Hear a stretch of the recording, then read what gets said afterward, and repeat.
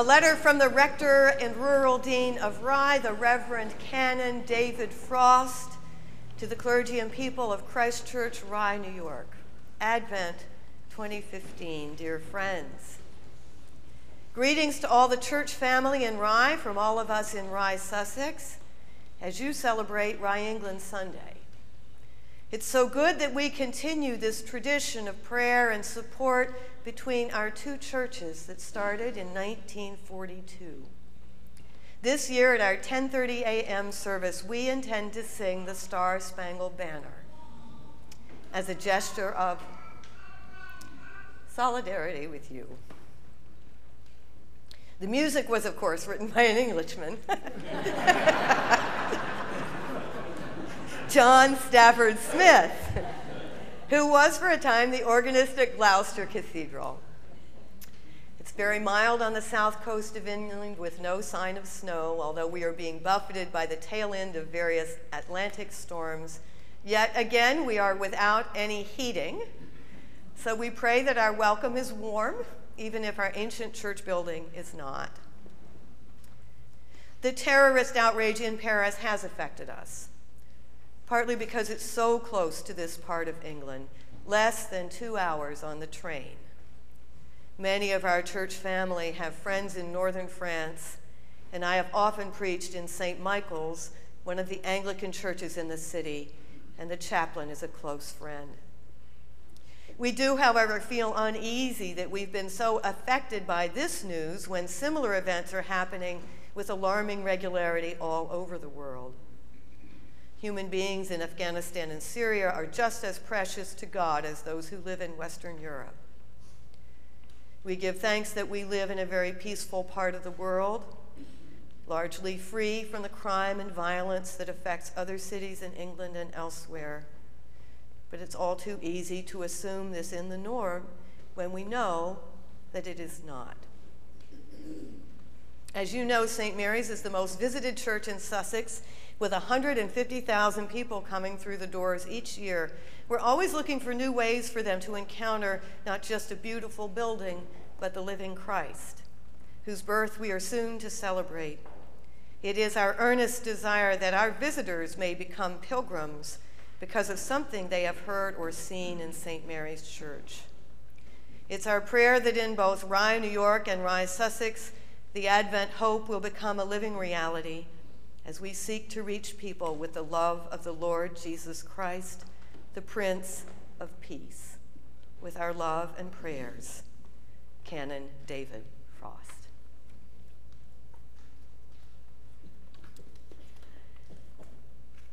In the name of our Lord Jesus Christ. Amen.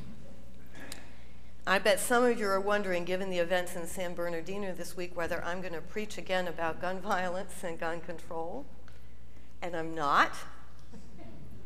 Because I did, I went back and checked October the 4th of this year, and that sermon is still available on the Christchurch website. And you should know that I have an informal email list of parishioners who continue to be in conversation about the issue of responsible gun ownership. And if you would like to be on that list, send me an email and I will add you. We share articles and research from time to time. And it is Advent, isn't it? I've been surprised a little bit over the last few weeks at the number of people who, this year for some reason, have asked me if I believe in the second coming of Christ. Now, I shouldn't be surprised because actually that's very timely. Did you know that we use the word Advent or coming at this time of year to anticipate the second coming of Christ at the end of time? Outside, it's all about the first coming of Jesus, right? The Christmas decorations, and all of that is about our eager anticipation of the coming of the baby Jesus in Bethlehem with the shepherds and the angels, and we love that. And so we spend Advent thinking about the first coming of Jesus. But actually, the church for hundreds of years has suggested that as the days are growing shorter and the nights are growing longer and darker, that we should actually be preparing for his coming back, a day of judgment.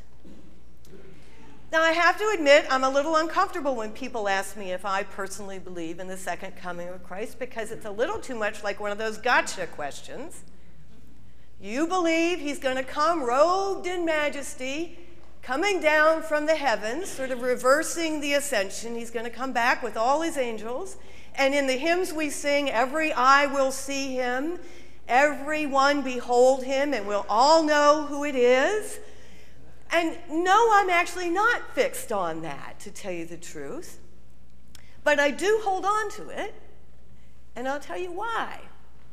Because what it tells me, and what this season tells me, is that there is going to be a time's up, pencils down. Do you know what I mean by time's up, pencils down? Anybody who's taken a standardized test lately? You know that if you didn't get 14, Question number 14 it's over. no more trying. There is an end point. There is what we call a day of reckoning when we are judged. Now, in a personal sense, that's the day we die. There's a moment after which what we never said will never be said, and what we never got done will never get done and what we never gave will never be given. There's a period at the end of our sentence. There's an end. And we hope and pray that if there's a beautiful funeral here, someone will step into that lectern and say wonderful things about how generous we were and how faithful and steadfast and how we loved our families and served our communities. And we will be judged. we will be judged. There's a there's a time out, time's up moment, personally, for each of us. But when we go to the day of reckoning scenario, you know, the paintings in the museums are never a single person in front of the throne of God. They're throngs of people. Throngs of people. Sometimes sheep and goats being separated, right?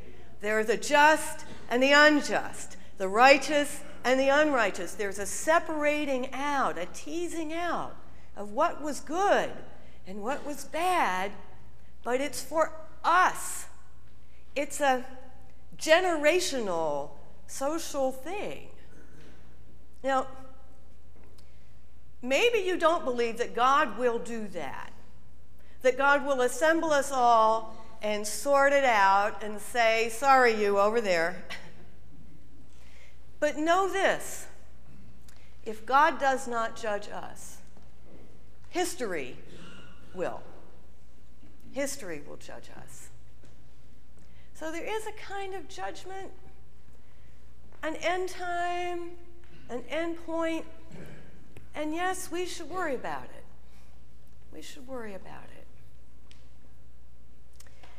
Now, this is stewardship season, right? In the church, we use that word a lot, and you know that it's code for please make a pledge and write a check. You know that it's the time when we check the church's physical resources against its demands.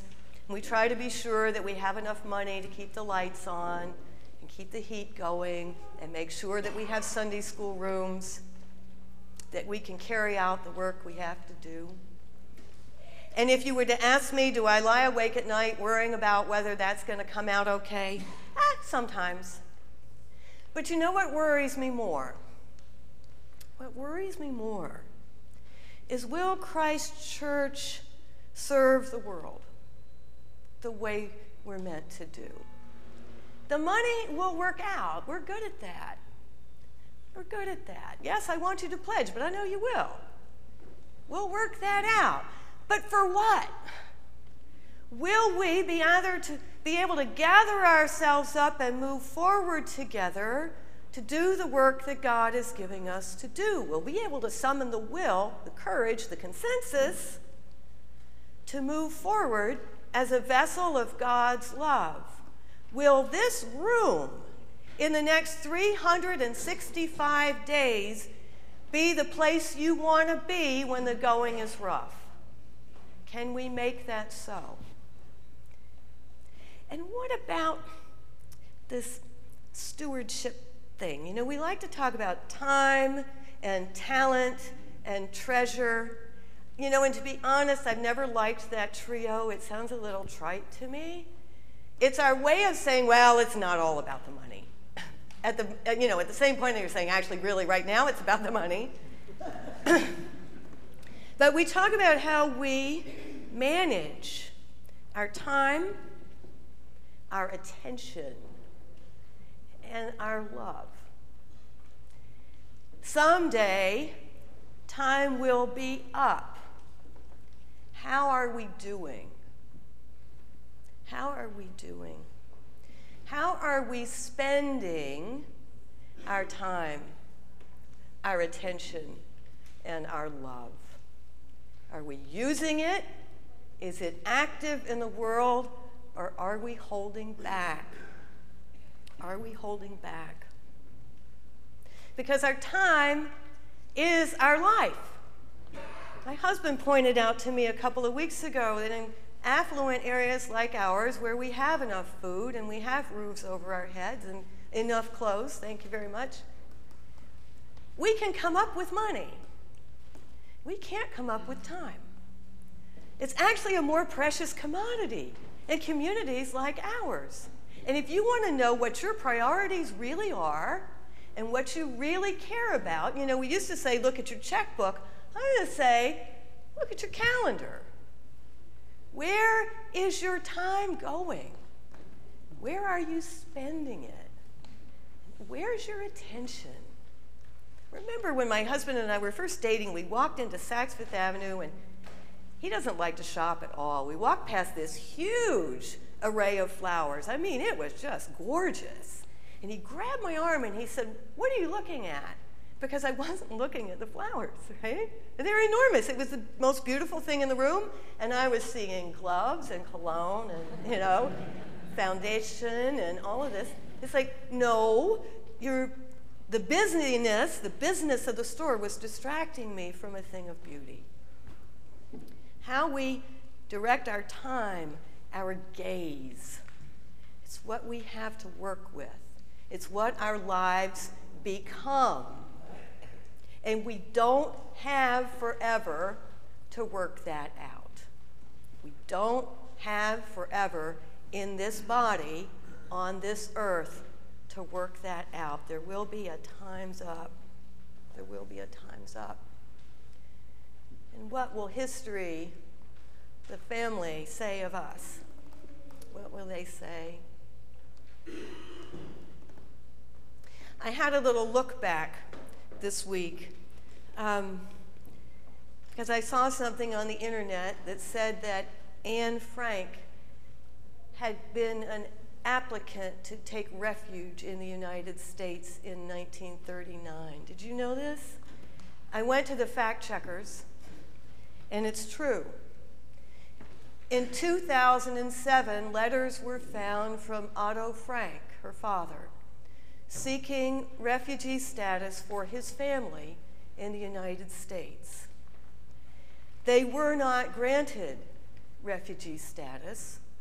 There was concern in the American community that even children could somehow be used by the Nazis to come in behind enemy lines somehow and destroy our defense in the course of what would become a war.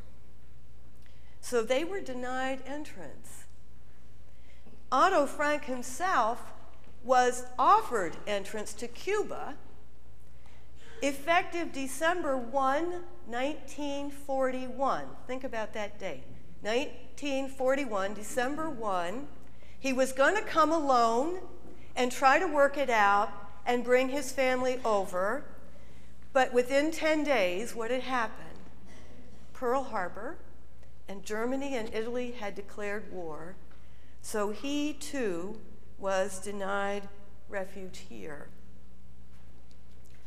Looking back, looking back, was that the right decision? Was that the right decision?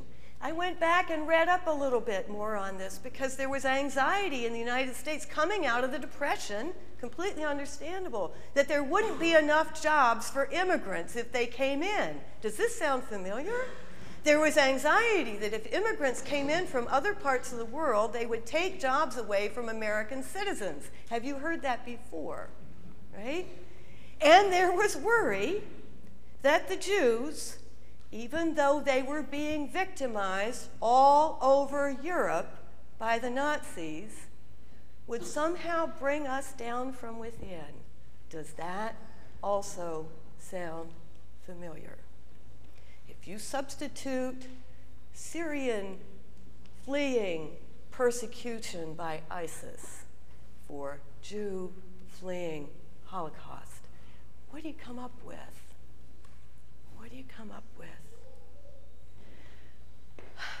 These are important and complicated decisions.